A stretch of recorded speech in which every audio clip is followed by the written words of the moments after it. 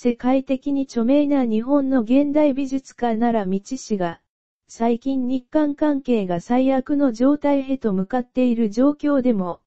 韓国はいい国とし、韓国を擁護するような文章を相次いで綴り、話題だ。奈良道氏は去る6日、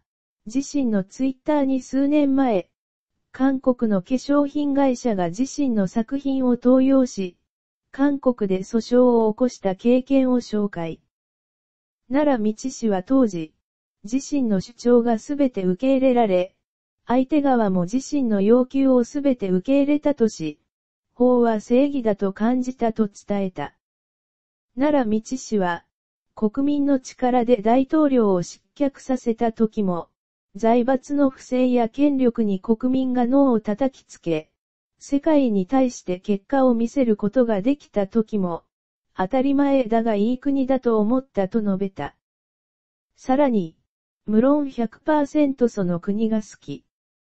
なんてありえない。韓国にも日本にも、どの国にもいろんな人がいる。ドイツに12年住んだが、